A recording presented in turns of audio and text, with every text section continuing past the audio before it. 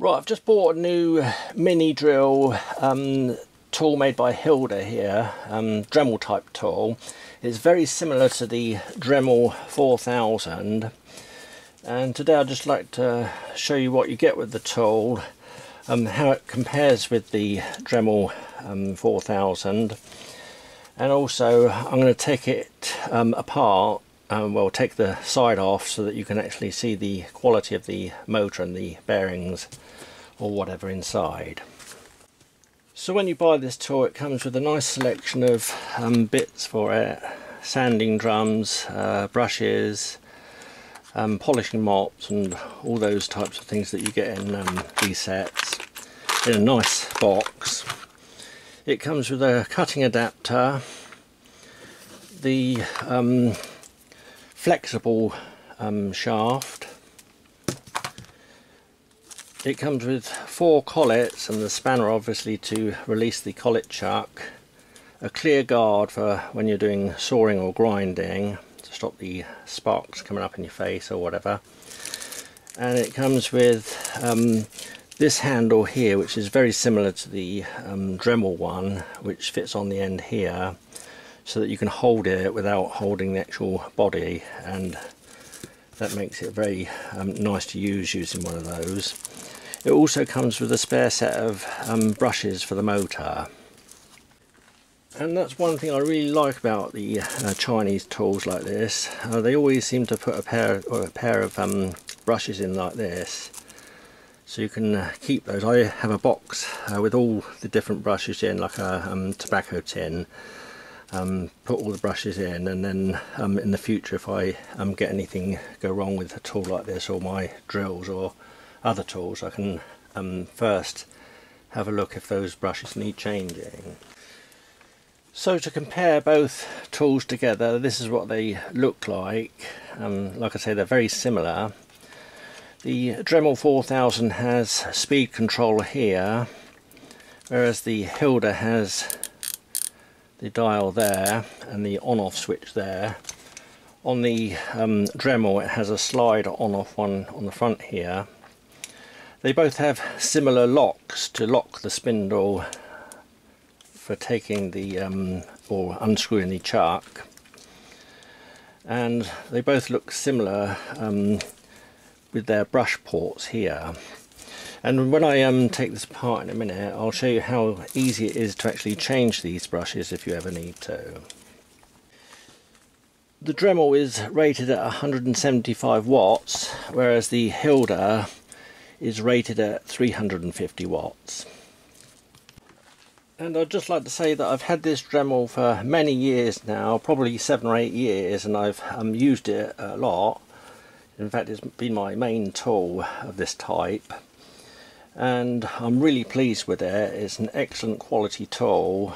And um, having a couple of uh, tools like this is excellent because you can have one set up for um, something like a grinder or a, a burr tool and then you can have um, the other one set up um, with a different tool so you pick up whatever you need quickly.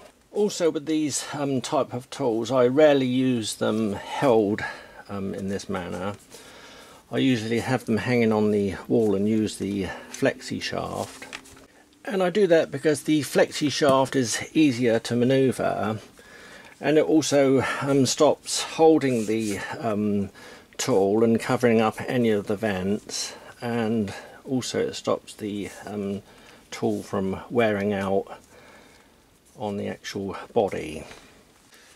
So the Hilda is excellent quality, it has nice um, heavy ABS type plastic uh, build with this rubber decal here which makes it feel good in the hand. Just as good as the um, Dremel I think. And um, the actual tools that come with it like the adapters here are all just the same as the um, Dremel. The only thing that um, differs in um, quality or look um, to the Dremel is the actual flexi shaft although this is a very good one the flexi shaft for the Dremel um, appears to look a bit better and is probably a bit nicer to hold in the hand one of the things um, that I noticed when I um, bought this tool, I did think the um, thread here would be the same as the Dremel. It's not. And the reason I checked it out is because I like to use these um, little mini chucks um, rather than a collet on the end. So if you buy one of these and you have a Dremel tool, these um, mini chucks here won't fit this shaft. The thread size on the body here is the same as the Dremel, so um, these will screw on the same. And the actual Dremel shaft would um, screw on there okay. But you wouldn't be able to use it because the um, adapter that goes on the end here to accept the um, square drive bit in the end there um, obviously wouldn't be able to go on the um, spindle here you could probably actually make one of those up so you could actually use the Dremel one if you wanted to. And if I did that, then I'd be able to use this shaft here with the um, little chuck here. I'm hoping the Chinese will um, bring out the um, small chuck version for this one, but I haven't seen one yet. The tool comes with a nice long flexible cable and it's a good quality one, not one of those sort of plasticky types that are um, hard to manoeuvre. It comes with this two pin plug on the end here. I normally cut these off and put a UK plug on, but if you don't want to do that, you can use one of these um, fused adapters. I don't use the Chinese ones which they um, send with this um, tool because they're not fused. If you use one of these, you'll be perfectly safe. So now I'll show you it going.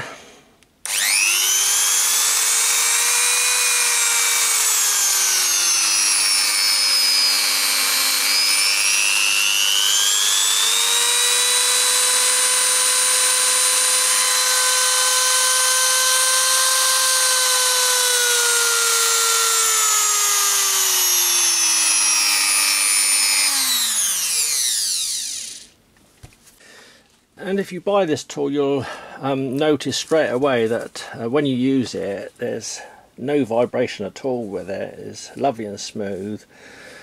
The um, Hilda here has a top speed of 30,000 uh, RPM the Dremel has 35,000 but I think that um, sounds really good and I'm looking forward to using it in the workshop.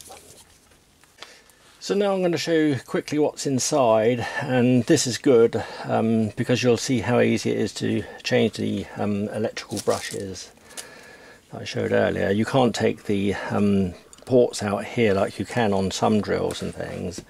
You have to take the side off to be able to change those brushes.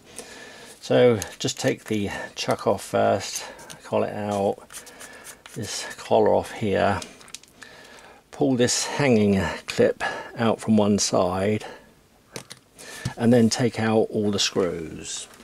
So now I've taken out all the side screws and if you do this make sure you unplug first obviously and also work over a nice um, clean area like this because there's some very small springs inside.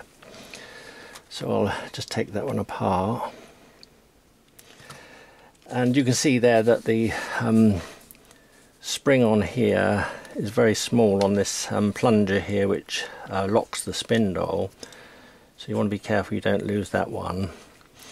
And then you can see there the um, quality of the um, motor and that.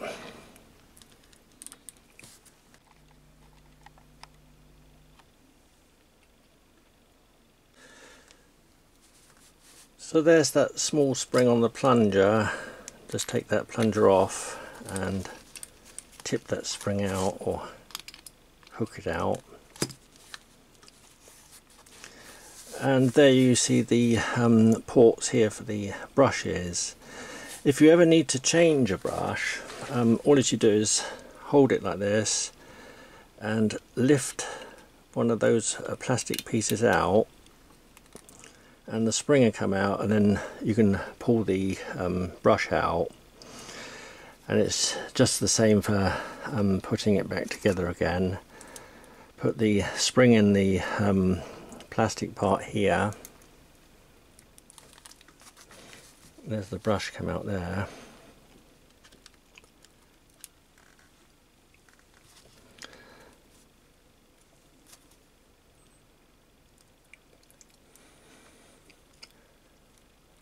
put it in while you're holding it like this and then push it into the groove and that's located. The spring is um, on the brush now with the narrow end obviously onto the brush. So you can see there it's dead easy to change the brushes if you need to um, plus clean this commutator.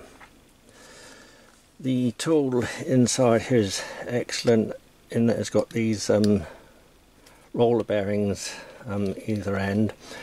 And I've taken the Dremels apart and I think this looks just as good. So to put it back together again take this um, little plunger here put the spring on it and put that one in place making sure that it's the right way round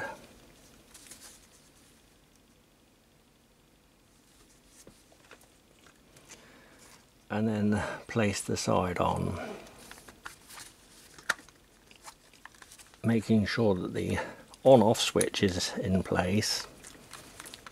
Push it together. And before you put the screws in just make sure the plunger is working on the spring and locating in the grooves to lock the spindle and then I put probably two screws in and then just test the um, tool see if it's working okay before I put all the screws back in the side.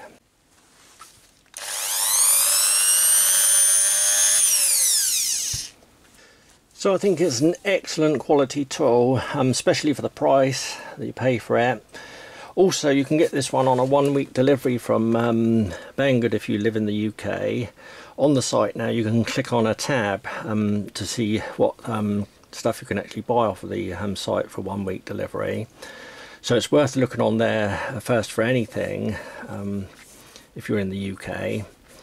It saves having to wait for it to come from China. So I'll put a link below and in the comments section so you can have a look at this one online and um, I hope to be making something in the workshop in my next video.